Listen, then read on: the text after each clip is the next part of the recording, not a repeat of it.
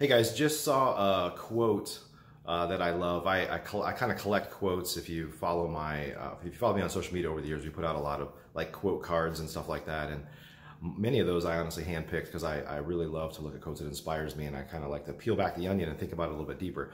But the quote that I just saw was from Walt Disney and he said, the quickest way to get started is to stop talking and begin doing. And, um, you know, in this age of social media, in this age of information overload, information everywhere, we tend to be thinking about uh, doing something for a long time before we actually do. In fact, many people get paralyzed that there's so much information overload that they just never start.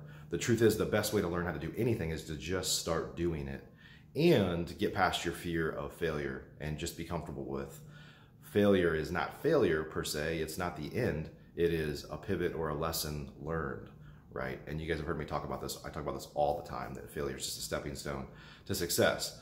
But the truth is, is there is enough information for us uh, that we couldn't consume in a million lifetimes on YouTube and uh, you know other social media outlets or other news sources or anywhere. There's information everywhere uh, what it really takes is for you to say, I don't know how to get from A to Z. I'm just going to worry about A to B right now, and then I'll worry about B to C next and start taking action.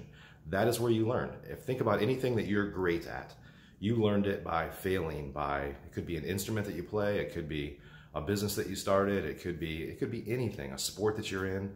Um, failure is how you learn. You try something, no, that didn't work. Do it this way now. I'm never going to do it that way again. That is how you do it, not by listening to content or other things that are going to teach you how to do something because until you do it yourself, you don't have the context of how to not do it. So go ahead and get started. Let's go get it.